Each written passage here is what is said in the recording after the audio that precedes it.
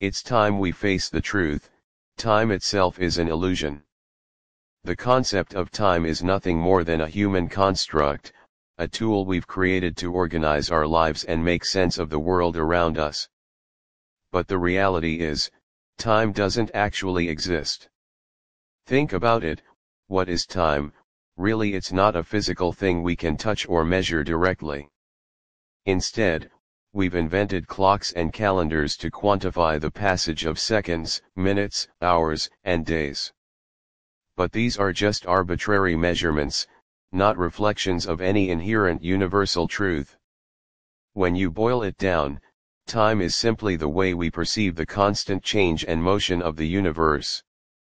The rising and setting of the sun, the changing of the seasons, the aging of living things, these are the real phenomena we've used to construct the notion of time.